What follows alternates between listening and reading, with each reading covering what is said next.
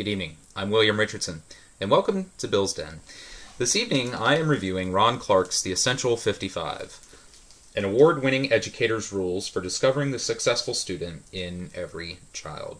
Now, Ron Clark writes in his introduction uh, the purpose of his book. He says that this is an attempt, and these rules are an attempt to give his students an outline or a guide to how life should be lived and appreciated, so he compiled this list of reasons. He says that I have seen a remarkable difference in the way my students have held themselves, performed in school, and had respect for others.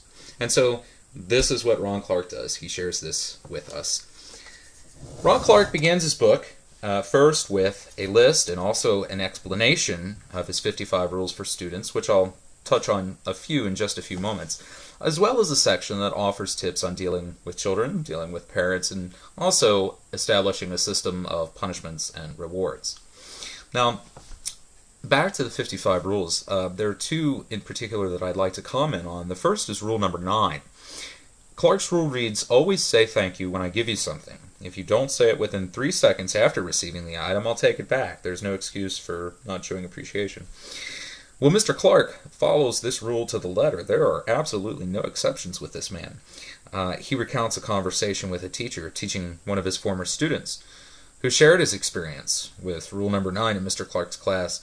Uh, he, he mentions that one of his students in fifth grade had won a lollipop, but before he could even put it in his mouth, Mr. Clark took it away because he failed to say thank you.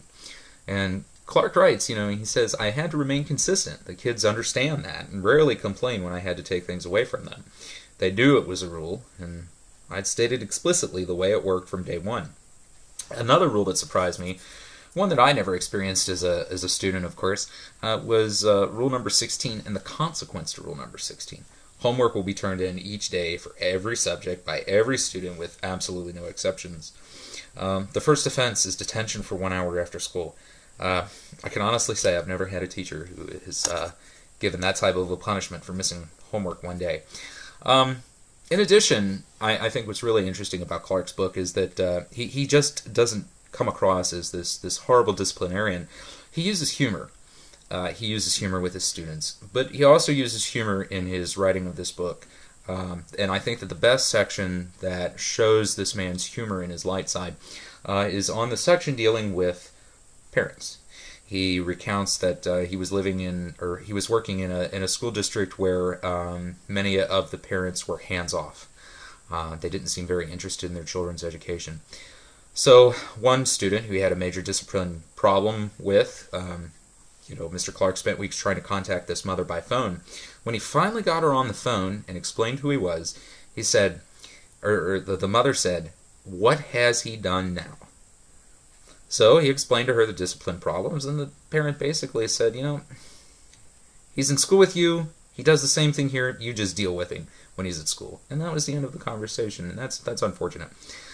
And so he realized that, you know, if he was going to have this type of a, a, conversation again with another parent, you know, he, he would definitely have to change his strategy. So he did have a, another student with a discipline problem. The conversation begins the same way. The parent wants to know what their child had done. And instead of pointing out the child's faults, he instead praises the child to the parent. And of course, this, this, this causes the parent to be completely stunned and caught off guard. So the conversation ends on a positive note. But after a few days pass, Clark calls back uh, and says to the same parent that he's having some difficulty with the student who, remember, he praised just a few days before, and the parent is more receptive uh, to working with the teacher to handle the problem.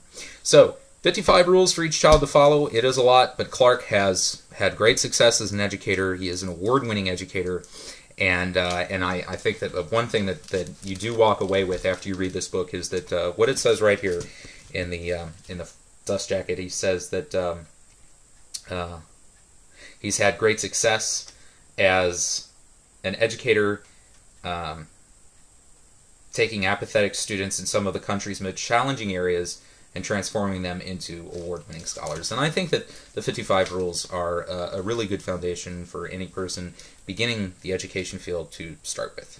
Thank you.